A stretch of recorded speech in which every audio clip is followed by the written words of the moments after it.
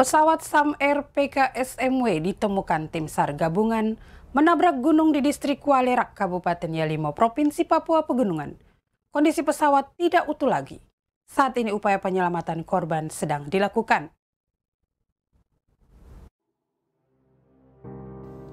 Pesawat Sam Air PKSMW ditemukan tim SAR gabungan menabrak gunung di distrik Welarek sekitar 12 km dari lapangan terbang Elelim, Kabupaten Yalimo, Provinsi Papua Pegunungan.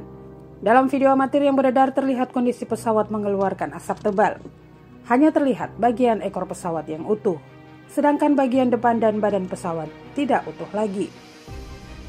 Belum diketahui kondisi kru maupun penumpang pesawat milik PT Semua Aviasi Mandiri tersebut. Tim SAR gabungan saat ini tengah melakukan upaya penyelamatan seluruh korban.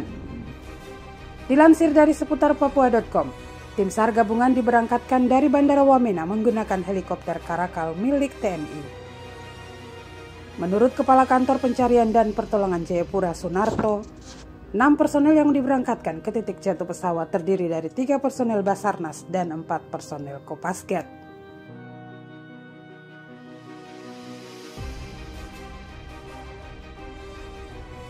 Pesawat Sam Air PKSMW sebelumnya bertolak dari Bandara Sentani tujuan Bandara Wamena. Pesawat kembali melanjutkan penerbangan ke lapangan terbang Elelim. Kemudian melanjutkan penerbangan dengan tujuan desa Holowi. Namun sesaat setelah lepas landas, pesawat tersebut hilang kontak.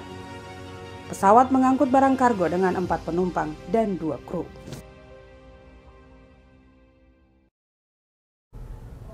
Demikian news update kali ini nantikan berita menarik lainnya hanya di seputar Papua.tv dan perbaharui terus informasi lainnya dengan mengunjungi website seputarpapua.com.